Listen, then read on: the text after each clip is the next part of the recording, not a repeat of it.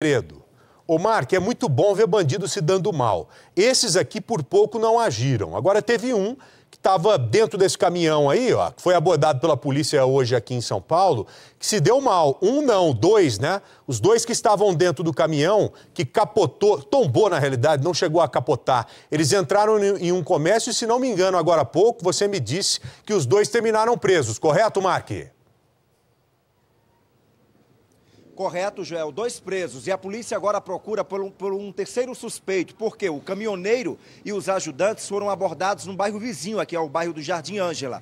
E aí foram colocados dentro de um carro, levados pela quadrilha. Os dois que conduziam o veículo carregado com cerveja acabaram tombando aqui nessa região e foram presos pela Polícia Militar, viu, Joel? Falando nisso, tem uma matéria hoje de roubo de carga. Curiosamente os caras roubaram um caminhão também em que tinha carga de cerveja. Roubaram, não, saquearam. O caminhão tombou, se acidentou em uma rodovia aqui em São Paulo, acho que é a Regis. E nessa de se acidentar, os caras pularam toda na, todos na carga lá para roubar a cerveja. Só que aquela localidade que nós mostraremos em reportagem daqui a alguns minutos para vocês, é uma região quente, uma região perigosa, principalmente para os caminhoneiros.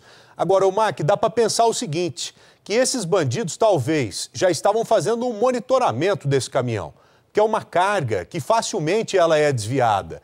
Isso aí, para ter encomenda, é dois palitos. Imagine só, o cara rouba um caminhão como esse, com uma carga valiosa como essa, e distribui rapidamente um monte de adega. Não tem essa.